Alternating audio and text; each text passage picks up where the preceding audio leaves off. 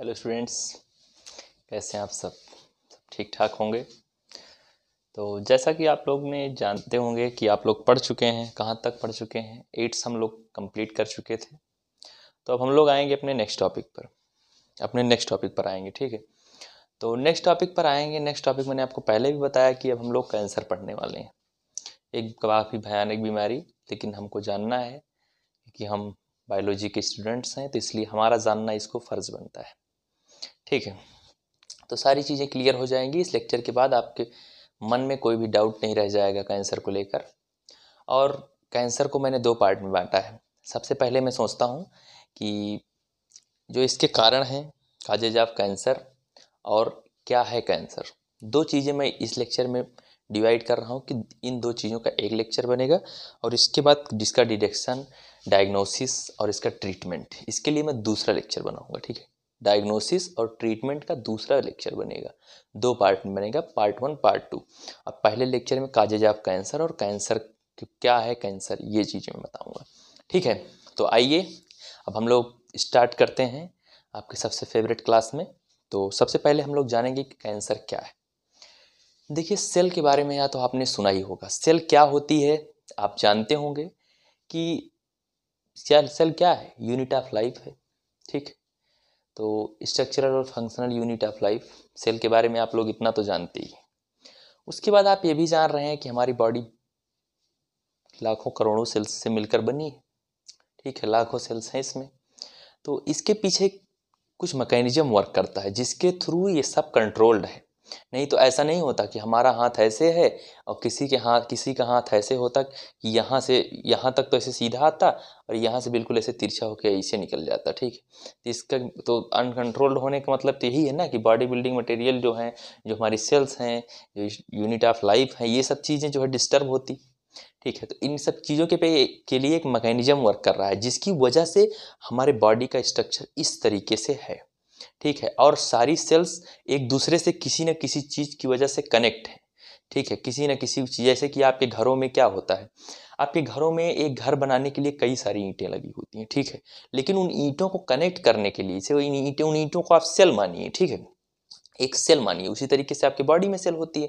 उन ईंटों को आप सेल मानकर देखिए कि उनको जोड़ने के लिए और उनको कंट्रोल करने के लिए उसमें कुछ और चीज़ें भी लगाई जाती हैं। लोहा लगाया जाता है, उसमें सीमेंट बालू, मोरंग, ये सारी चीज़ें लगाई जाती हैं। ठीक तो इस तरीके से एक घर का निर्माण होता है। उसी तरीके से हमारे शरीर का निर्माण सेल से होता है और चीज़ें उन चीज़ों को बांधते रखने में मदद करती हैं और उनको कंट्रोल करती हैं। नहीं तो ऐसा नहीं होता, आप ईंट आज जोड़ के आए हैं, कल गिर जाए भाई, नहीं मसाला लगाएँगे, नहीं सीमेंट मोरंग लगाएँगे तो क्या होगा?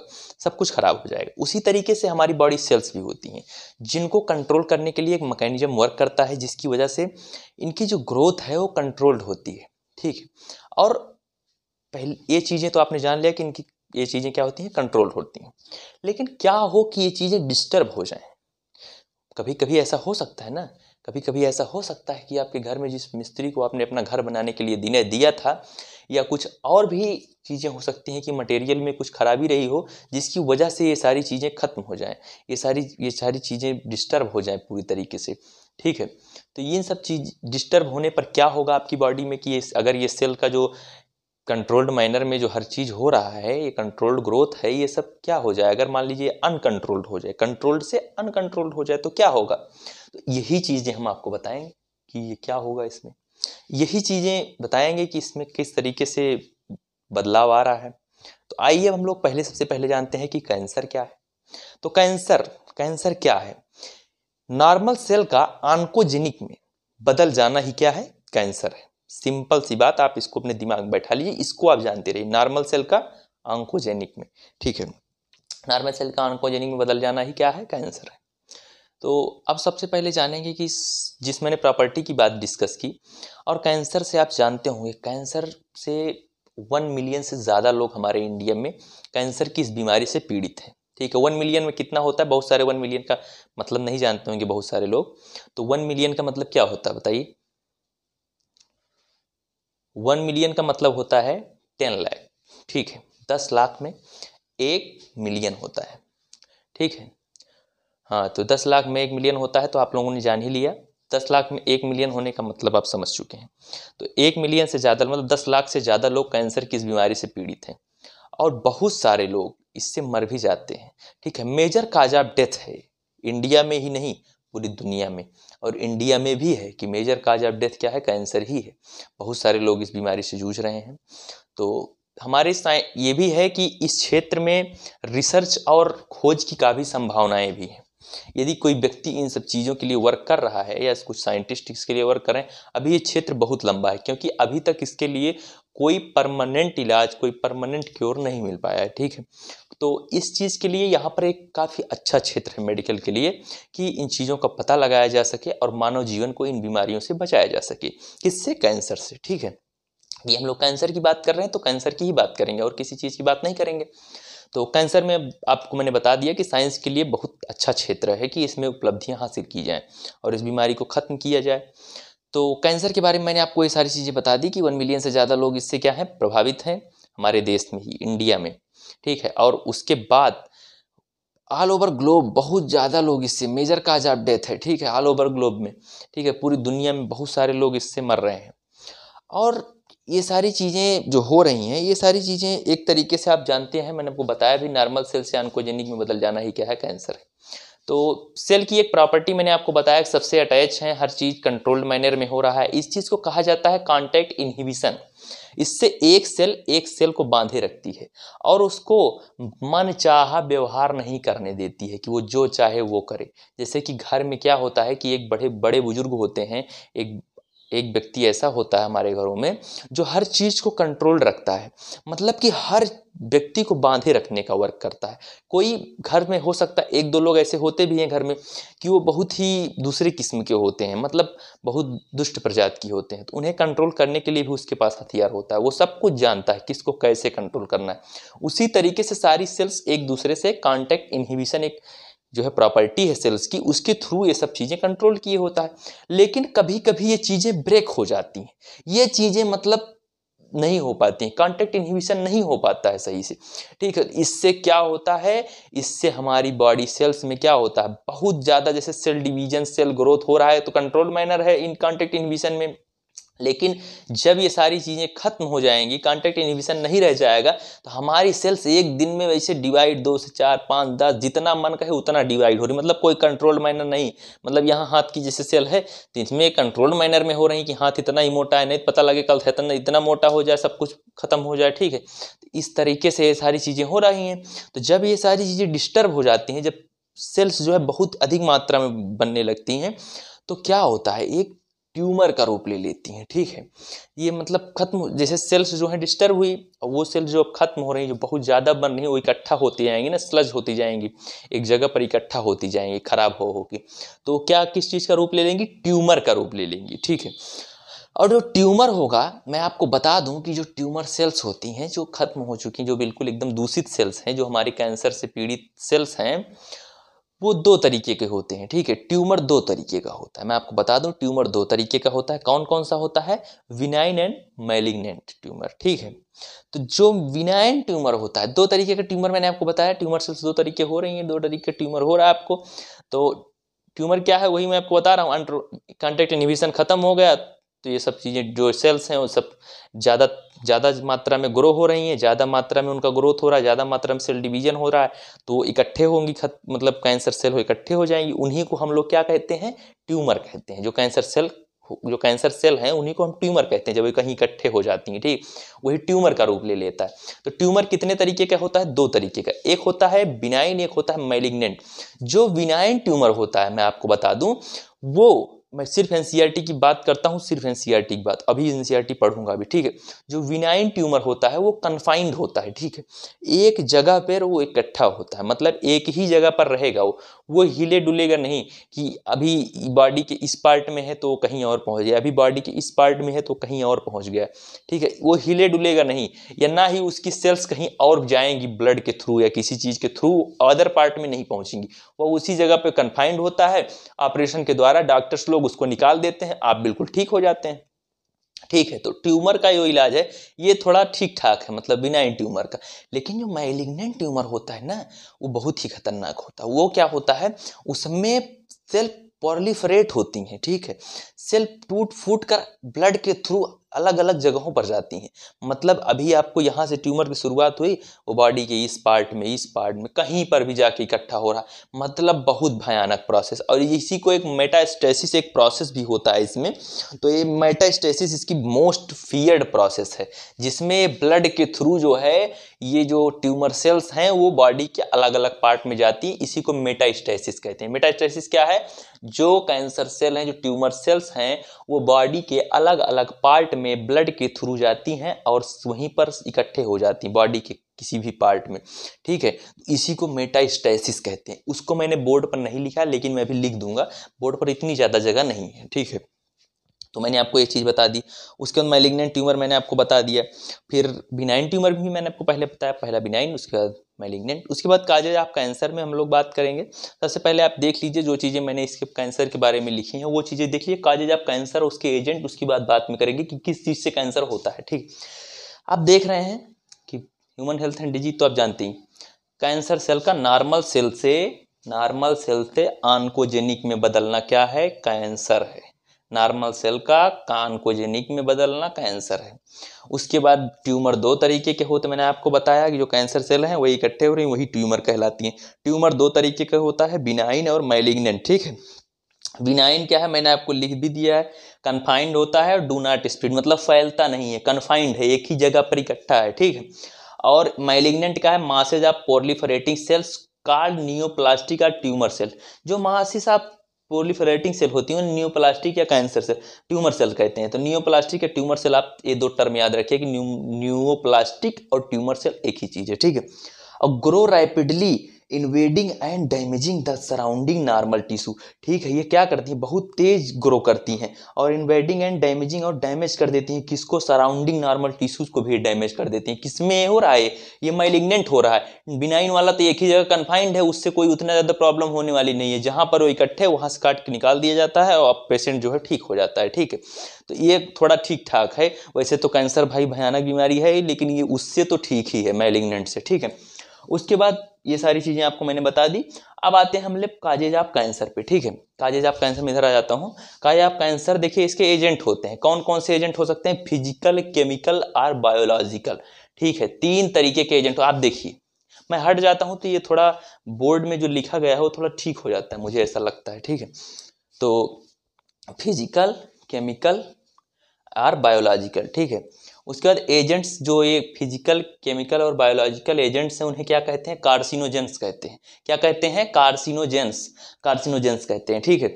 जो एजेंट हैं, उन्हें कार्सिनोजेंस जो कैंसर काज करने वाले एजेंट हैं एजेंट मतलब समझते हैं ना, जो इसको फैला रहे हैं, जिसकी वजह से कैंसर हो रहा है, उन्हें कार्सिनोजेंस कहते हैं, ठीक है? और वो एजेंट्स कौन हो सकते कितने तरीके के हो सकते हैं? फ़िज़िकल केमिकल और बायोलॉजिकल हो सकते हैं, ठीक है? उसके बाद ये भी कैंसर काज करते हैं। कौन? आयोनाइजिंग रेडिएशंस और नॉन आयोनाइजिंग रेडियंस ये भी जो है कैंसर काज करते हैं, ठीक है? ये भी एजेंट ही हैं, जितने हैं सब एजेंट ही लिखवाए गए हैं।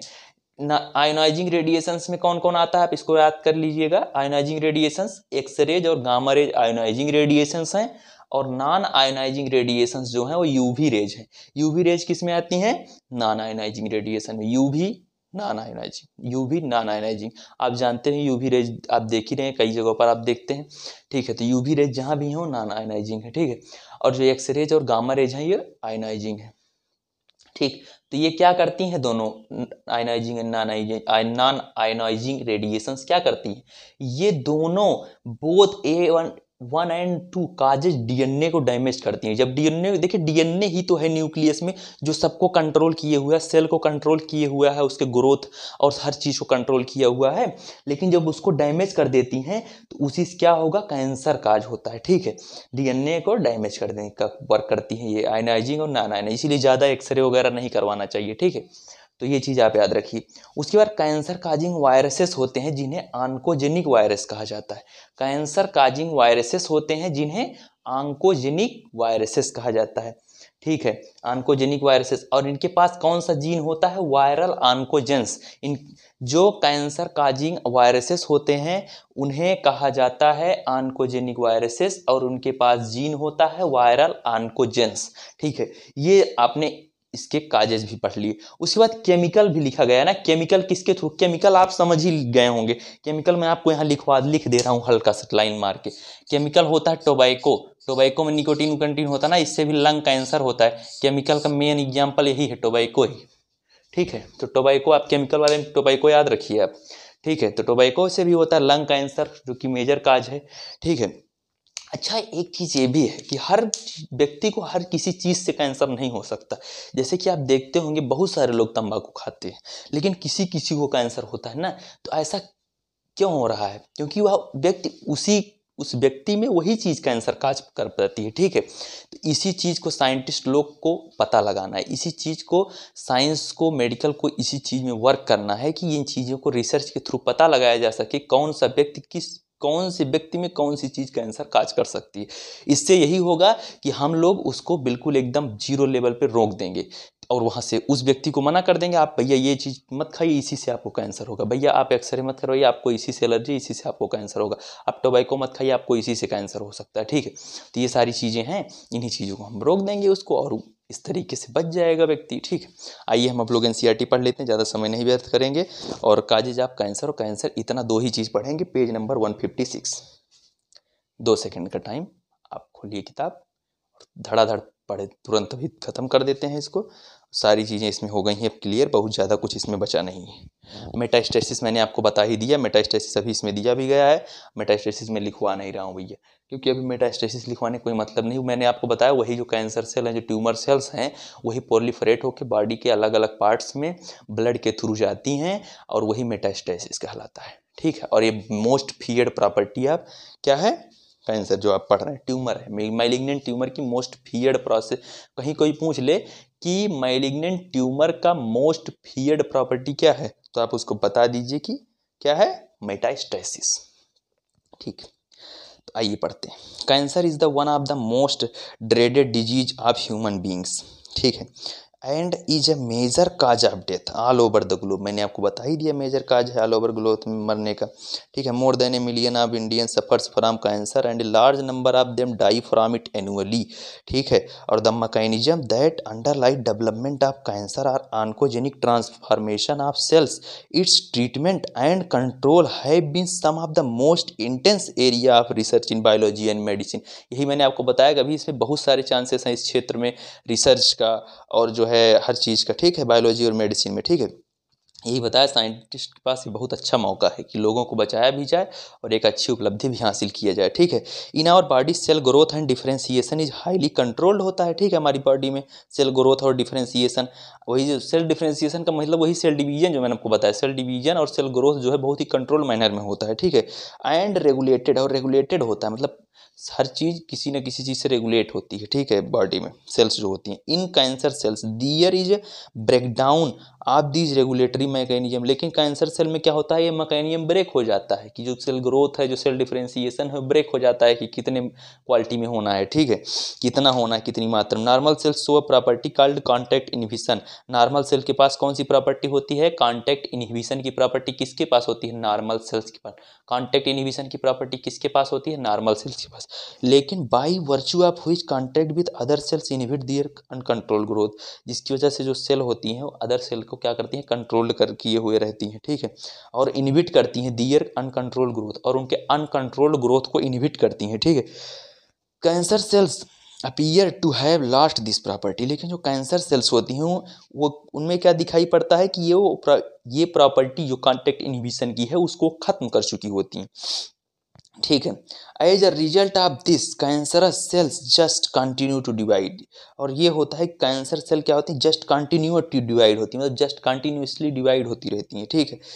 Rise to masses of cell, और बहुत सारी सेल बन बन जाती हैं, जिसकी वजह से क्या मैंने बताया था, जब बहुत सारी सेल्स इस तरीके से बनने लेंगी तो क्या बना लेंगी? ट्यूमर बना लेंगी, ट्यूमर बना लेंगी।